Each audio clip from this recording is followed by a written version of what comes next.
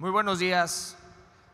En primer lugar, quiero agradecer al gobernador constitucional de Querétaro, Mauricio Curi González, por la oportunidad de estar al frente de la política social en el Estado, a nuestras amigas y amigos de los medios de comunicación y por supuesto a todo el gabinete, porque juntos hemos logrado trabajar en favor de la política social de, del Estado y juntos estamos entregando estos resultados.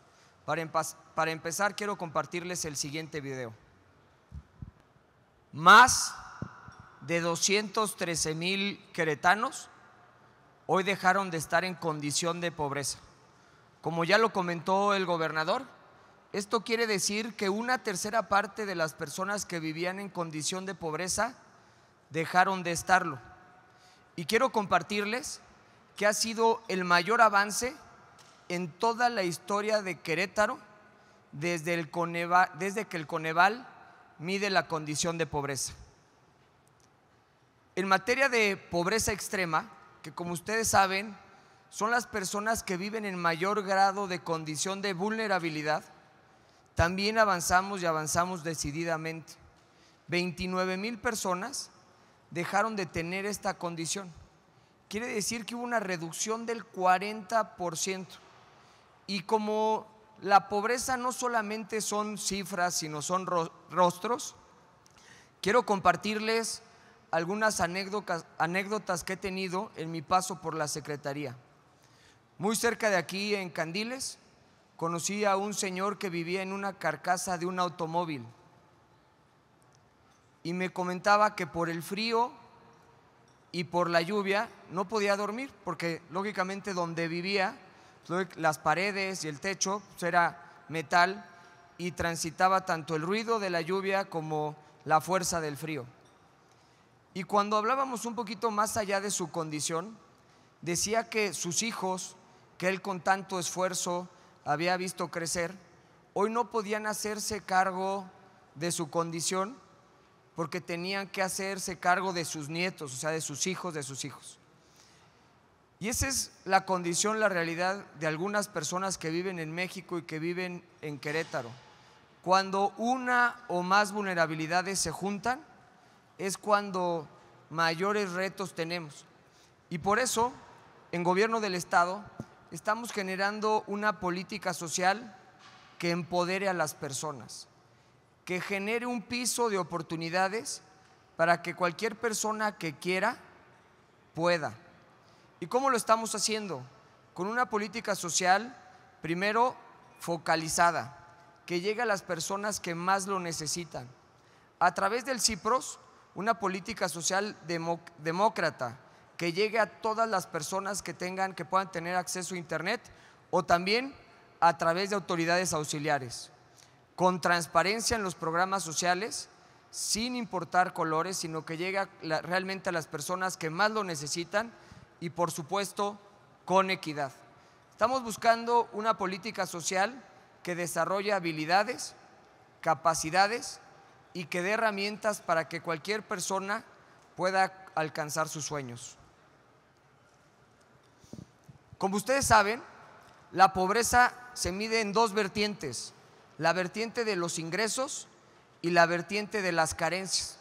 El Coneval mide seis carencias, desde calidad y espacios en la vivienda, servicios básicos en la vivienda, educación, alimentación, seguridad social y acceso a la salud.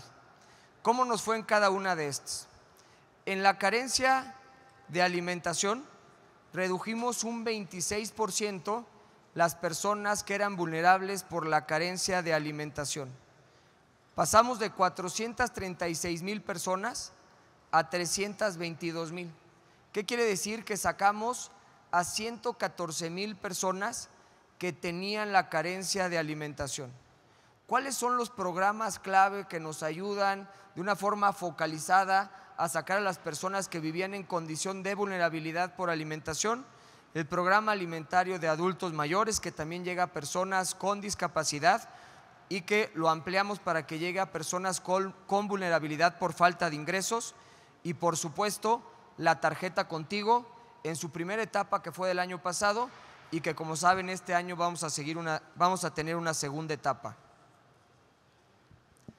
En esta lámina les muestro dos carencias, tanto la de servicios básicos en la vivienda, agua, drenaje, luz eléctrica y las personas que cocinan con leño en lugares cerrados, y también la carencia de calidad y espacios en la vivienda, como el señor que vive en Candiles, que no tienen una vivienda digna o que viven en hacinamiento.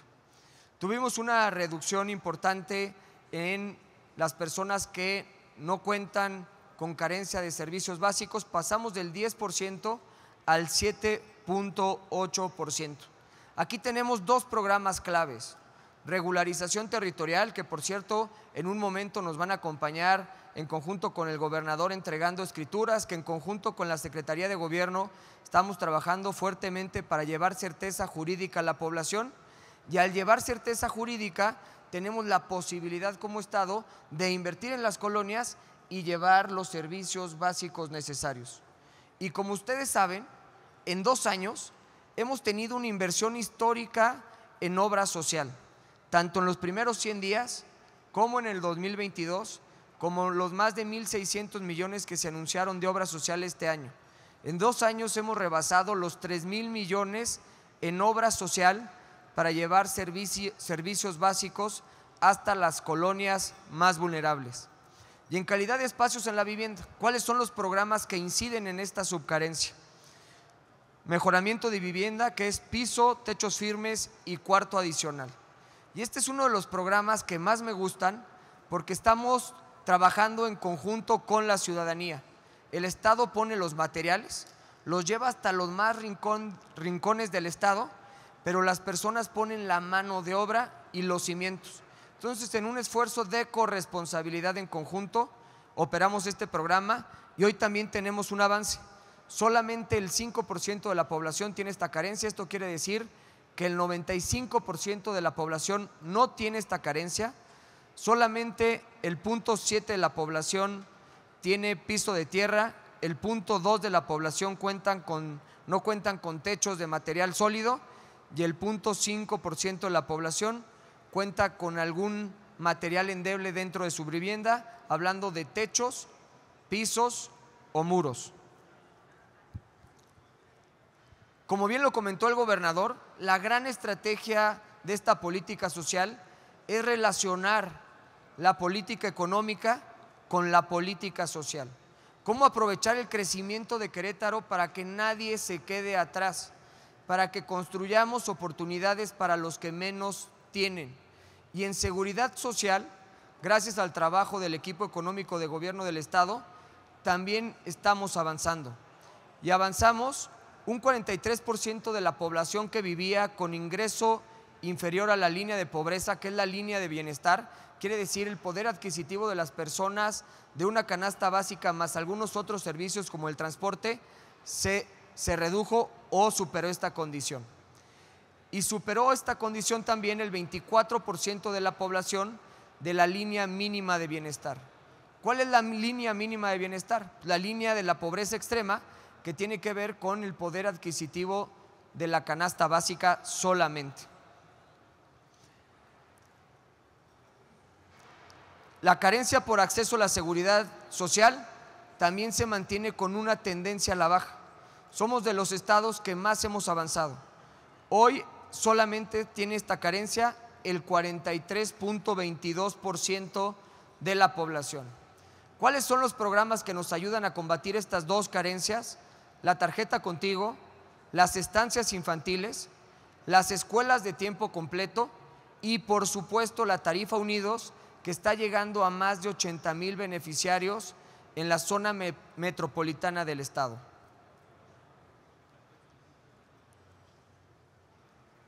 ¿Cuáles son los retos que enfrentamos como Estado?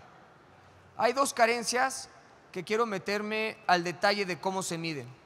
En, en, primer lugar, la carencia a la salud. Como ustedes saben, antes existía el seguro popular y cuando llegaba el INEGI le preguntaba a las personas si consideraban que tenían el acceso a la salud, las personas que tenían el seguro popular decían que sí tenían ese acceso, porque sentían que tenían el derecho de poder atenderse a través del Seguro Popular. A partir de la implementación de la política pública, hemos tenido un gran reto porque a nivel nacional hemos tenido un aumento en cuanto al número de personas que manifiestan que hoy no tienen el acceso a la salud. ¿Cuáles son los programas que estamos trabajando en materia de salud? Como ustedes saben, las caravanas de salud llegan a los distintos rincones del Estado, encabezados lógicamente por la Secretaria de Salud y por todo el equipo de salud en gobierno del Estado, así como las inversiones que se han tenido en infraestructura de salud en distintos centros de salud y hospitales, así como el programa de acción, social Salud Contigo. Y en materia, en materia educativa tuvimos un cambio en cuanto a la medición. Este es importante. A partir del 2021 es obligatoria la, el nivel preparatoria a nivel nacional. ¿Qué quiere decir? Que para las personas que tienen hoy 21 años o menos, ya se está computabilizando, se está contando que realmente no solamente tengan la secundaria, sino que tengan el bachillerato.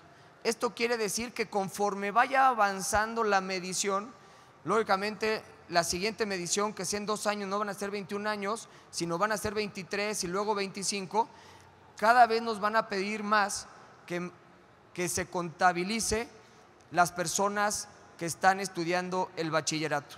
Y como lo dijo el gobernador, el área más importante es el desarrollo de habilidades, capacidades y dar herramientas a las personas. Y una de las líneas de acción más importantes es la educación.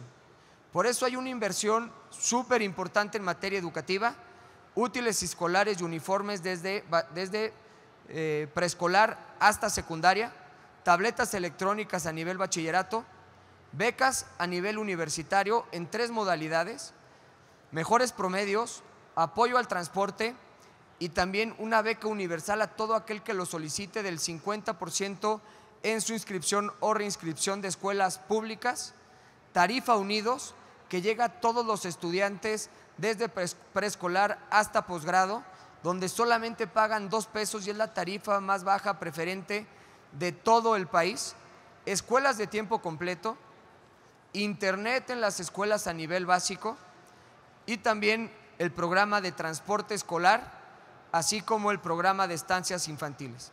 Cabe destacar, como ya lo saben, que este esfuerzo lo encabeza la Secretaría de Educación a través de la secretaria Martelena Soto, que por cierto la saludo y le agradezco, agradezco y estamos trabajando en conjunto para bajar los índices de deserción escolar. ¿Qué quiere decir todo esto? El que logremos sacar a más de 200 mil personas de la condición de pobreza, el hecho de que hoy más personas continúen estudiando, tengan acceso a los distintos servicios que otorga el gobierno del Estado, nos dice que vamos por el camino correcto. Pero también nos dice que falta mucho por hacer que tenemos que redoblar los esfuerzos, que tenemos que seguir trabajando para que ningún queretano se quede atrás. Debemos de ser un gobierno cercano, empático, constructor de oportunidades, que garantice un piso parejo para que cualquier queretana, cualquier queretano, en cualquier parte del Estado, pueda con su esfuerzo, con sus ganas, con su dedicación, alcanzar sus sueños. Con nuestra política de desarrollo social vamos por el camino correcto para elevar a Querétaro al siguiente nivel. Muchas gracias y quedo atento a sus preguntas.